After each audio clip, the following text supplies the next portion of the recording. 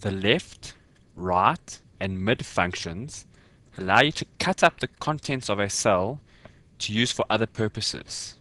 In this segment, you'll learn how to use each of these functions. In this example, we have a list of account numbers, and what we'd like to do is split them up, because if you look at the account number, you'll see that the first three letters appear to indicate the city. The next five numbers is a client number of sorts. The last three numbers is the department.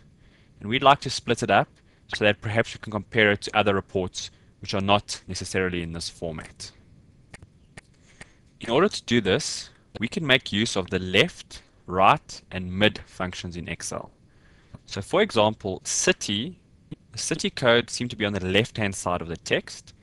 So we are going to make use of the left function. So we click on the function wizard and find left. We say OK. And what you're asked is, it asks you for the reference to the cell that contains the text. So that would be there. And then it says, tell, tell me how many characters from the left you want to be extracted. And in this case, you can see it appears to be 3.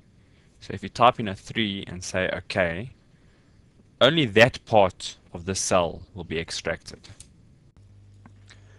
For the department number, you can see that it appears to be from the right, and again it's three characters.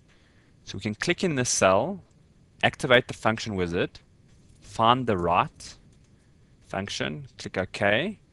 Again it asks for a reference to the text, we click on that cell, and it asks for the number of characters from the right that it must extract. As you can see it's 3 because we don't want the dashes. So we say 3. When we click OK, you'll see that you've now extracted just the last three characters from the text.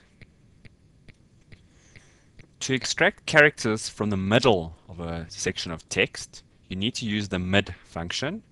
So you click on the cell, activate the function wizard, and find the mid function. Click OK. Again, you are asked for a reference to the cell that contains the text. So it's over here. This criteria says what is the position of the first character you want to extract. And in this case, you'll see we don't want those three and we don't want the dash. So it is the fifth character. So we put a 5 in here. And the number of characters is how many you want to extract from that fifth position. And in that case, it's 1, 2, 3, 4, 5. We put in 5 here. When we click OK, you'll see it extracts only the numbers in the middle of the text you are now in a position to highlight these three and copy it all the way down and automatically you have split these codes into their components being the city, client number and department and you're now able to perhaps sort for more reliable information.